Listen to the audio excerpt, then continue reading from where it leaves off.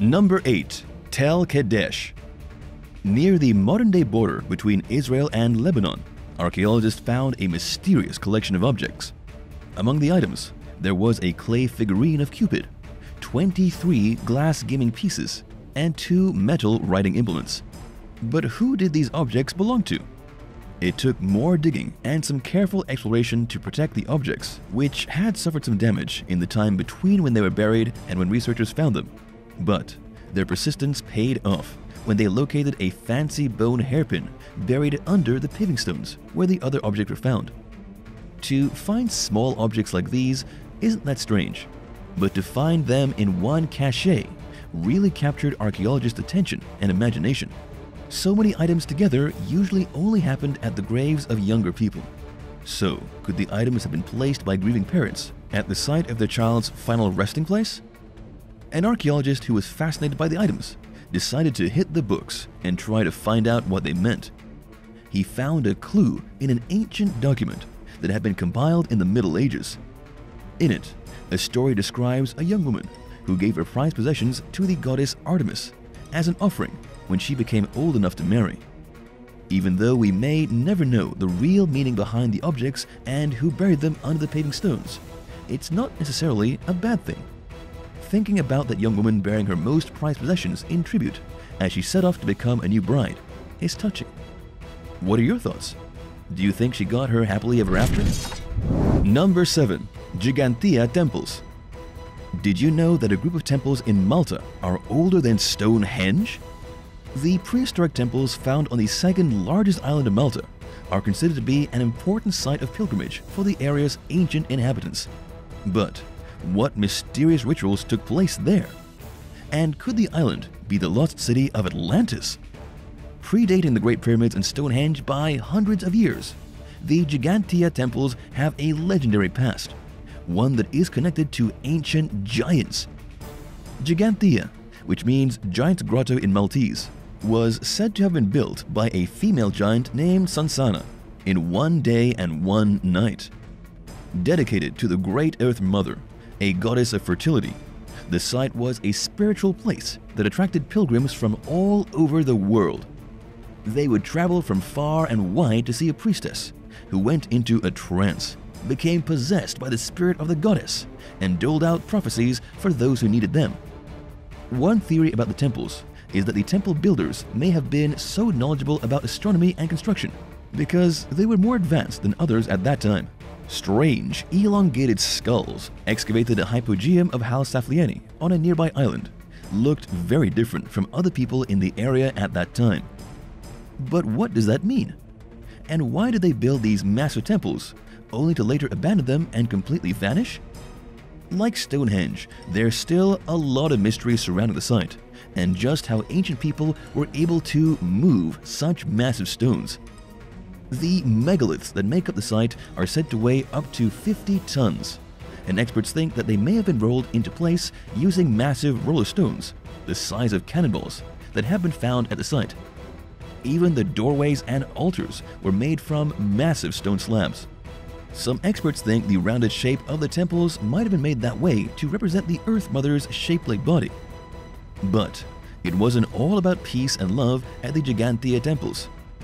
The discovery of animal bones and libation holes suggests that ritual sacrifice and liquid offerings may also have been a part of the pilgrimages made here. Who do you think built the Ggantija temples? And could the strange builders be connected to Atlantis, something Plato wrote about? Given the fact that he described how the remaining structures of Atlantis were scattered across several islands, and Malta's temples are found on multiple islands, it's not that difficult to believe the long-lost city of Atlantis could be where the giant temples are located. Number 6. Etruscan Pyramids A team of archaeologists made a shocking discovery when they were working in a wine cellar in Italy. While they were excavating at the ancient site, they uncovered a mysterious ancient staircase that continued well past the floor in the cellar. After working carefully to explore the site, they followed the staircase and ended up making an even more astonishing find two Etruscan pyramids. The tapering walls inside the wine cellar were the first clue that there was something different about this place. After following the sloping walls 10 feet deeper, they came to another hidden tunnel that dates back to the 5th century BC. As if that wasn't enough, they followed the tunnel and it led to a second pyramid. Imagine their excitement at making these discoveries. To find not one, but two pyramids is amazing. But there were even more surprises in that underground wine cellar too. Researchers also found evidence of an underground system of tunnels beneath the entire site. After painstakingly excavating two layers of fill, archaeologists found Etruscan pottery shards that date between 400 and 1000 BC between the modern and medieval floors of the cellar. The discovery is an important one that shows how the Etruscans, who occupied Italy for almost a thousand years before the Romans took power, may have used pyramids similar to those found around the world to bury their dead. What do you think about these secret pyramids hidden under a wine cellar? Do you think there could be more structures found under the floors of similar buildings? Let us know your thoughts and comments below. And if you're liking this video, be sure to hit the thumbs up and subscribe buttons if you haven't already. Number 5. Nabatean Stone Monuments Did you know that a culture lived in the harsh deserts of Saudi Arabia for 200 years? When researchers discovered a series of mysterious stone monuments in the desert of Al Ula, they realized they had stumbled across a long-lost culture that had inhabited the area around 100 BC. Known as the Nabatean, the people ruled their empire in the city of Petra in Jordan. So why did they leave so many towering monuments in Alula? Unlike other ancient cultures like the Egyptians, who built their monuments as separate buildings, the Nabatean people carved theirs directly into the rock cliffs. Their temples and tombs tower over the desert floor, but that doesn't mean it was easy to find them. Researchers had to use light aircraft and special cameras to survey the area and pinpoint the location of the archaeological site because the monuments were so well hidden. As researchers continue to survey the land, they have found burial sites, Bronze Age funerary landscapes, and burial structures.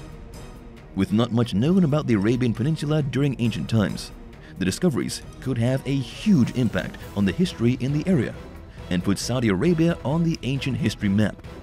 Ancient Egypt and Mesopotamia get a lot of attention when it comes to discoveries, so this find is an exciting one for history buffs. After they surveyed the area from the sky, it was up to specialist team members to head out on foot, looking for evidence of animal species. And when they did, they came across something surprising. For a long time, many species were believed to be absent from the Arabian Peninsula. But painted rock art panels have shown previously undocumented mammal species and vegetation that were around during prehistoric times. What animals do you think once roamed the deserts of Alula? Let us know in the comments. Maybe you'll guess what researchers will find when they compare the paintings to the animals that once lived alongside the Nabateans. Number 4. Nan Madol On an island smaller than New York City, an ancient city once home to a deeply religious and sometimes cruel group is filled with stone columns so heavy, experts are dumbfounded. But the ruins of Nan Madol, ruled by the Saudeleur people, were so terrifying that modern locals see the site as one that is extremely sacred, and most are afraid of the scary spirits that may still linger there. So what happened to these ancient people? Why did they abandon their city? And why, of all places, did they decide to build on top of a coral reef, part of the Federated States of Micronesia? The shallow coral reefs house imposing ruins, but there's one thing missing experts haven't found any art or carvings at the ruins. The island itself is made up of 92 smaller artificial islands that spread over 200 acres. Built from the 13th to 17th centuries, the buildings are now in ruins. But they were supposedly built by the descendants of two brothers who decided to start a religious community that worshipped the sea. The location, next to the island of Pohnpei, northeast of Papua New Guinea in the Coral Sea, might not seem like the best place to build a community. So the brothers brought columns of black lava rock from the opposite side of the island to create the foundation and walls of the platforms and lodgings. But it didn't take long for the native jungle to grow in and around the buildings, making them look even more intimidating. Still, even with such an imposing political, religious, and residential center, that doesn't mean there wasn't conflict. Sometime during their history, the leader of Nan Madol, who was said to be a tyrant, was overthrown by an outsider who allowed there to be multiple chiefs ruling the land instead of just one. Even today, the system of many chiefs remains. But there is still a lot of mystery surrounding Nan Madol. Most Pohnpeians believe the structures were built using magic to fly the massive black stone columns into place. And with no evidence to show how the structures were built, the true history of Nan Madol is still something of a secret. Number 3. The Taulas of Minorca A tiny island in the middle of the Mediterranean is home to a series of 12-foot monoliths that have sparked fierce debates. The Taulas of Menorca have a hidden past that could point to religion, astronomy, or even a place for healing. One thing's for certain though, these stone monuments were built by prehistoric humans who had some secret purpose for placing the stones the way they did. The small Spanish island where the stone monuments are found has a modern-day population of almost 100,000 people. Throughout history, different cultures have called Minorca home, including Jews, Brits, and Spaniards. So why do you think these ancient people built these taulas? They are said to resemble Stonehenge. Their name means tables in the Catalan language spoken on the island, which some experts think mean they were used in religious rites. And when a clay perfume burner in the shape of a goddess's head and a bronze bull were found during various digs, the theory that the temples may have been a place where sacrificial offerings were burned in the fire pits to their god seemed even more likely. A prehistoric cave drawing offers another clue about the island's mysterious past. It had accurate representations of constellations, which would prove the place was a religious monument. By using the top of the taula and viewing it at different times of the year, it coincides with different locations of the moon, making these prehistoric monuments a type of ancient calendar. Until researchers can piece together the origins of these monoliths, the true purpose will remain as mysterious as the island where they sit. Number 2. Chinese Terracotta Warriors One of China's greatest mysteries is the underground tomb of its Qin Shi Huang. What made the first emperor of the great country decide to build an underground moat filled with poisonous mercury? What secrets was he trying to hide?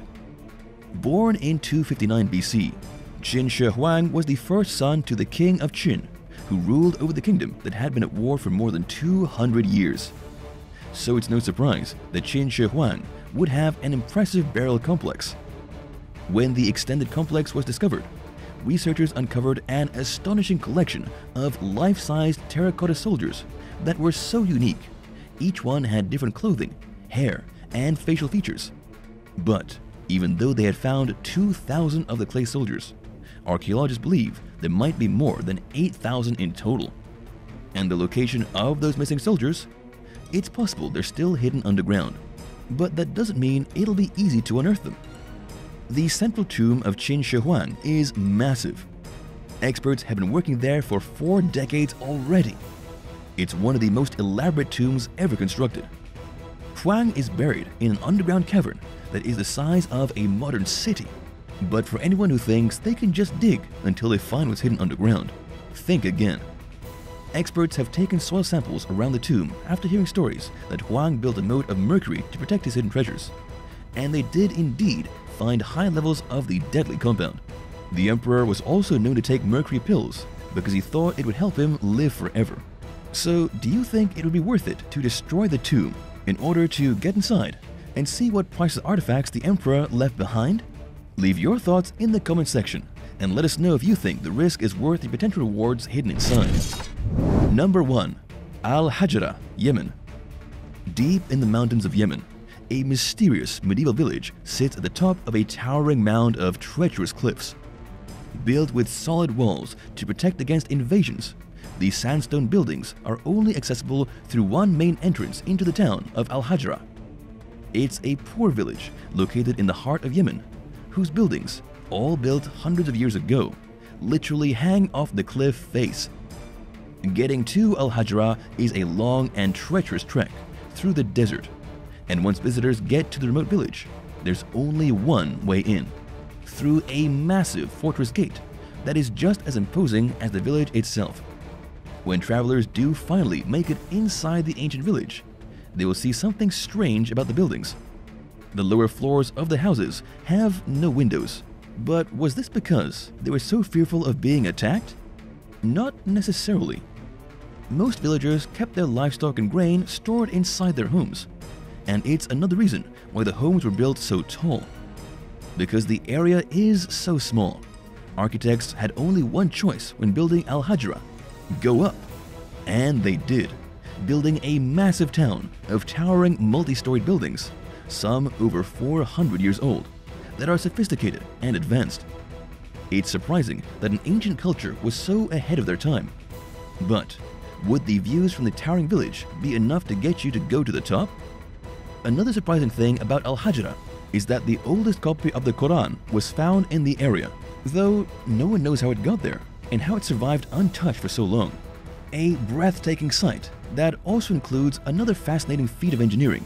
The residence of the local imam sits perched on a rocky outcrop that is not for the faint of heart or those who have a fear of heights. But if you can get past the trip to the middle of nowhere and are brave enough to pass through the fortress gates, you'll be rewarded with a stunning view of one of the most unique villages in the Middle East.